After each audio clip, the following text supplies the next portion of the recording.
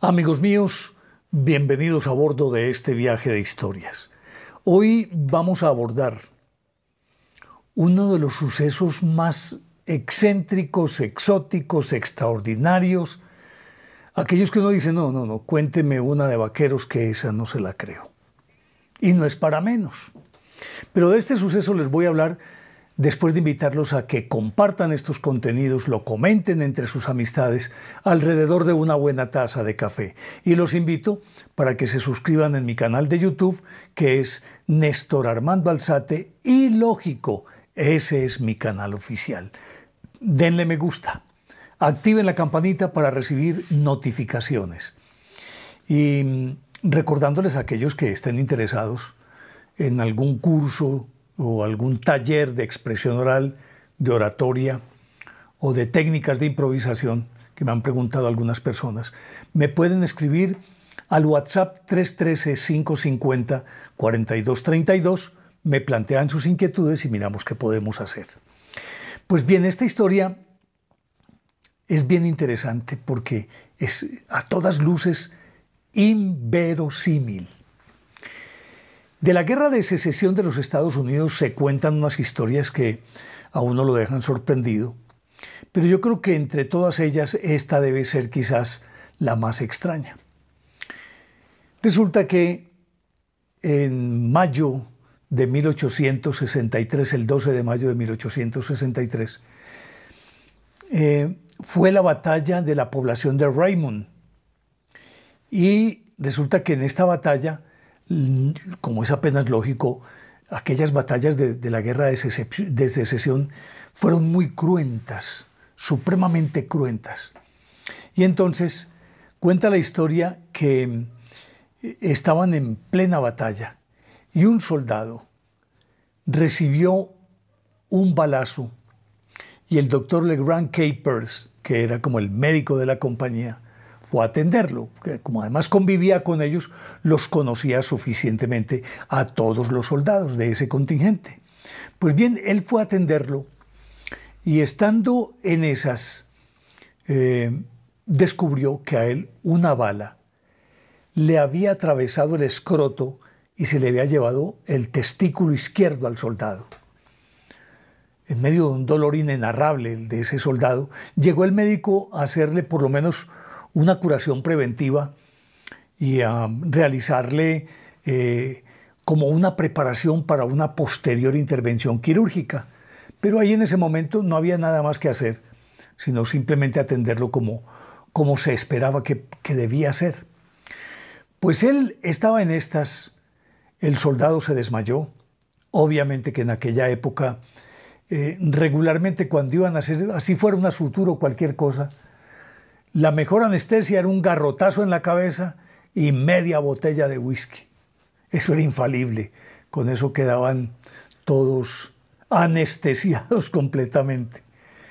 Pues bien, él atendió pues a este soldado y hasta ahí vaya y venga. Pero en el fragor de la batalla, él no se percató de que eh, en una casa cercana también estaban pidiendo auxilio. Cuando él pudo como dejar estabilizado al soldado, entonces fue a ocuparse, porque vinieron y lo llamaron otra vez y le, dijeron que sí podía ir a atender el caso de una muchacha herida. Él salió raudo hacia la casa, que era cerquitita, a unos cuantos metros, y llegó allí y se encontró con una muchacha de unos 19 años había recibido un balazo en el abdomen. Él entonces la intervino, pero como vio que era imposible extraer la bala, que al parecer estaba muy profunda en su abdomen, eh, sopesó la situación y, y dijo, no, esta bala no, si se queda alojada allí, realmente no le va a causar problemas en el futuro de pronto era más complicado, más riesgoso y más peligroso sacarle la bala que dejarla ahí. Dicho y hecho, le dejó la bala ahí. Pues terminó esa batalla de Raymond y él tuvo que irse con el ejército confederado. Él servía en el ejército confederado, o sea, es decir, en el ejército del sur. Recordemos que era la unión contra los confederados. Los confederados eran los que querían armar rancho aparte, formar una república aparte con todos los estados del sur, a raíz de la liberación de los, de los eh, esclavos que mm, había decretado Abraham Lincoln. Y por lo tanto, como el sur era la parte agrícola de Estados Unidos, y mientras que el norte era más industrializado, el sur dependía mucho de la agricultura y de lo que podía vender. De hecho, eh, las plantaciones de algodón del sur de los Estados Unidos eran casi que la parte vital, la sustentación de la economía de toda esa región. Y quienes trabajaban en los algodonales, obviamente que eran los esclavos, en situaciones terribles, y eran una mano de obra pues gratis no tenían que pagar a los esclavos. De pronto darle su manutención, pero era pues en ese sentido muy pobre lo que podían recibir los esclavos, o sea que vivían en condiciones paupérrimas. Y entonces quitarles a sus esclavos era casi que condenarlos a ellos a la quiebra económica. Y por eso intentaron armar pues eh, ese Estado confederado en el sur y los del norte querían liberar, a los esclavos. En ese contexto se desarrolló esa guerra y este médico y este regimiento pertenecían justamente al ejército confederado. Pues bien, el médico se fue y siguió con ese regimiento y con otros eh, en esa guerra de secesión. Volvió unos seis meses después, obviamente que todo esto al influjo de la guerra. Tenía que volver o se replantearon o se plantearon de nuevo algunas escaramuzas y por lo tanto él tuvo que volver con su regimiento y cuando volvió llegó al área donde había sido la batalla de Raymond y estando allí reconoció la casa y dijo, ve, voy a visitar a esta muchacha a ver qué pasó con ella. Cuando llegó, encontró que la muchacha estaba embarazada. Vea usted, dijo el médico. La atendió, estuvo con ella y todo muy bien. Y se regresó. Al poco tiempo tuvo que volver. Y para entonces ya había nacido el bebé. Y la muchacha, la que había recibido el balazo, la mamá del bebé, estaba muy angustiada, porque el niño lloraba y se quejaba y se quejaba entonces el doctor Capers se fue a examinarla, a examinar al bebé. Cuando notó que había un objeto extraño dentro del cuerpo del bebé, él entonces le hizo una intervención quirúrgica y resulta que del cuerpo del bebé extrajo una bala.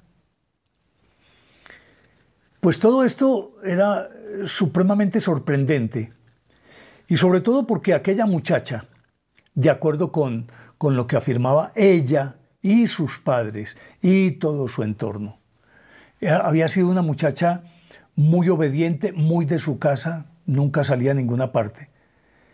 Y por examen que le hizo el mismo doctor Capers, eh, cuando el balazo aquel, por, por la cercanía de la bala a su aparato reproductor, notó que la muchacha era virgen. Pues bien, cuando regresó, pues nació este bebé que extrajo la bala de allí, se puso a cavilar y como la muchacha y sus padres atestiguaban que ella no había tenido novio eh, y de hecho ella afirmaba que seguía siendo, es decir, que era virgen, que ella no había tenido relaciones con ningún, ni con ningún hombre y, y de su, y de su, digámoslo, eh, comportamiento daban testimonio no solamente sus padres, sino también los vecinos, pues resulta que se pusieron a atar cabos. Y en el momento en que la bala se le lleva el testículo a este soldado, eso fue en, en, mayo de, de 1863, pues resulta que al parecer, de acuerdo con lo que dice el doctor Capers, que, que es el, el, que cuenta toda esta historia, la bala penetró en el abdomen, en el abdomen de, de la muchacha. Y probablemente llevaba vestigios de semen y ella quedó en embarazo. Esa bala que pasó a través del escroto del tipo llegó y la embarazó a ella.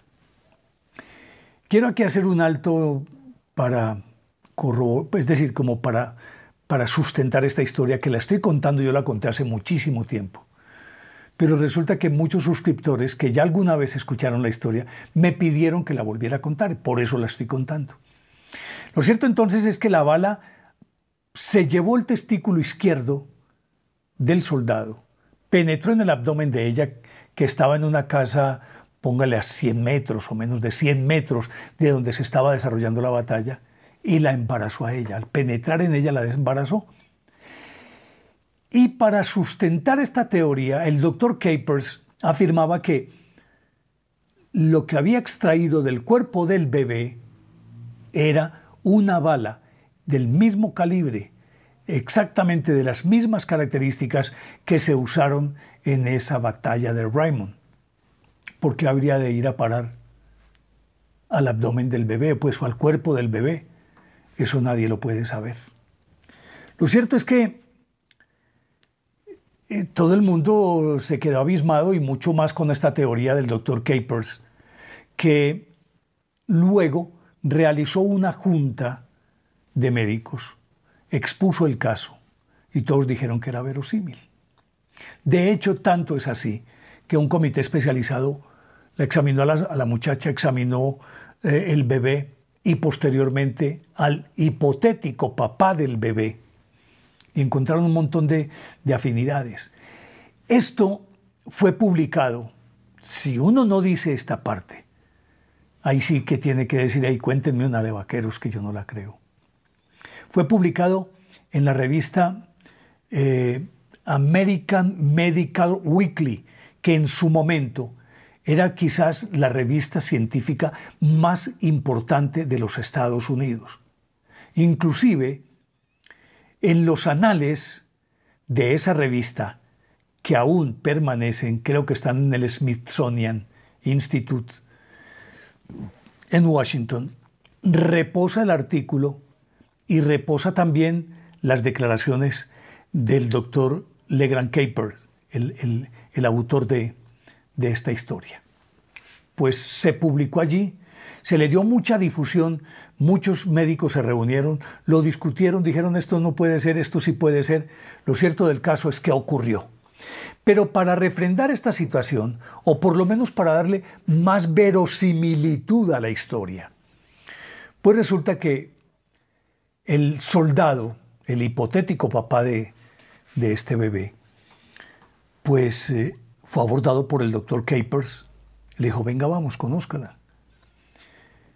El muchacho fue, ya veterano de guerra, porque la publicación de esto fue el, en noviembre de 1874. Ya pues había pasado la guerra. Y resulta que mm, cuando el muchacho fue, empezaron a observar al bebé y al muchacho. Y evidentemente los rasgos del niño eran muy, muy similares a los de ese hipotético papá. Tanto que él mismo se sorprendió del parecido que ese bebé tenía a cuando él era un niño. Decía, es que se parece mucho a mí. Afortunadamente, después de que se conocieron, pues que él conoció a la muchacha, la mamá del bebé, eh, quedaron flechados los dos, se enamoraron y posteriormente se casaron y tuvieron tres hijos más. Y cuentan que cuando reunían a todos los, es decir, a los, a los cuatro niños y a sus padres, aquel que era el producto de ese digamos lo que inseminación artificial, pues como más se le puede llamar a eso.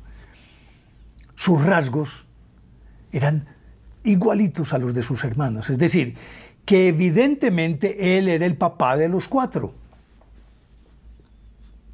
Eso se discutió muchísimo. Pero siempre, aunque queda lógico en un caso de estos tan supremamente inverosímil, quedan todas las dudas del mundo. De todas maneras, las evidencias que podrían dar lugar a pensar que en efecto era posible que eso hubiera sido así, eran las características de los niños. Asimismo, el temperamento de aquel niño, el de la inseminación artificial, pongámoslo en esos términos, era muy de su papá. Mejor dicho, yo no sé si en otras partes del mundo esta expresión se diga, pero eh, que no hay nada más, más parecido al papá que un hijo negado, decimos aquí.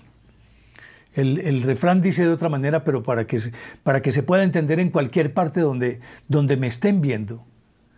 Dice que no hay nada más parecido al papá que un hijo negado. Pues este muchachito era justamente eso. Pasó el tiempo, se ha seguido discutiendo este caso y se ha encontrado que en efecto es posible. Si ustedes recuerdan, hubo un tenista muy famoso, que fue una, es una de las leyendas del, tenis en el mundo, que es Boris Becker, un alemán pelirrojo, que fue protagonista de los, de los grandes slam y de todos los torneos grandes del tenis y campeón en varios de ellos. Eh, por allá en los años 80, creo que fue mediados de los 80, terminando los 80, Boris Becker. Y recuerdo que una mujer lo demandó por paternidad. Y él, se negó, pues que no he tenido ninguna relación con esta mujer. En el juicio se admitió que ella le había hecho una felación a él. O sea, sexo oral que llaman pues y que al parecer ella guardó en su boca el semen y luego se inseminó con ese semen y que tuvo un hijo de él. Eso se discutió mucho en el tribunal, pero médicos, ginecólogos y especialistas dijeron que era perfectamente posible en la medida en que eso de guardar el semen en la boca y luego llevarlo a un recipiente, no sé, eh, con una temperatura X muy baja por demás para poder conservar los espermatozoides, pero que si lo hacía en el término de X cantidad de horas, perfectamente era posible que pudiera quedar en embarazo. De hecho, no recuerdo bien la decisión del tribunal, la sentencia del tribunal. No sé por qué, pero tengo la, tengo la idea, tengo el recuerdo vago de que en efecto fue aceptado, eh, fue aceptada la petición de la mujer, indicando que el bebé sí tenía material genético, es decir, su ADN era compatible con el de Boris Becker. Para entonces ya se trabajaba con el ADN de una manera incipiente, no era eh, algo de rutina como lo es hoy pero ya se trabaja, es decir, ya, ya, ya, ya se hacían pruebas de ADN. Y entonces que ellas demostraban que en efecto ese muchachito sí era hijo de él. ¿Hasta qué punto él mintió y realmente sí tuvo una relación sexual en la que pudiera fecundar a esta mujer y tener un hijo? Eso solamente lo puede saber él que enfrentó el caso. ¿Y hasta qué punto esta mujer se salió con la suya si en efecto pudo ser cierto que mantuvo ese semen dentro de su boca, lo depositó en un recipiente especial y luego se, inseminó con él. En uno y otro caso son muy inverosímiles las historias. En el de Boris Becker, pues obviamente que con, con la tecnología científica de entonces y dados todos estos conocimientos y estas herramientas como el ADN, probablemente se podía demostrar que en efecto él era el papá del bebé. En el caso de este soldado, en la guerra de secesión es casi imposible. Pero si nos atenemos a aquellos otros argumentos del parecido del niño, de los otros niños, de cómo se conformó este hogar, está dentro de lo posible. Hasta tanto no se demuestre lo contrario, está dentro de lo posible. Quería contarles esta historia porque eh, es muy inverosímil, muy extraña, y que cualquier persona en sus cabales va a decir, no, no, no, no, no, no, a mí no me cuenten esa historia. Sin embargo, siempre hay que dejar abierta una puerta a lo asombroso, a lo inaudito. Cosas han ocurrido que se dice es imposible que ocurra, sin embargo han sucedido. Este pudo ser ese caso. Quería contarles esta historia, como les dije, a petición de algunos suscriptores que me han escrito y me pedían que la volviera a contar. Ahí se las dejo. Y quien quiera puede entrar a internet y buscar y encuentre información sobre este caso. Y, y encuentre información de en dónde está ese escrito que apareció en la revista científica American Medical eh, Weekly. American Medical Weekly. Ahí está la información. Y si una revista de este talante y de ese prestigio en aquella época lo publicó, algo debe tener, por lo menos desde la perspectiva científica, debe tener visos de realidad. Pero dejémoslo ahí. Ya a ustedes, amigos, les dejo la inquietud de siempre. ¿Les parece lógica o ilógica esta historia? Ustedes deciden y espero sus comentarios. Por ahora, gracias. Chao.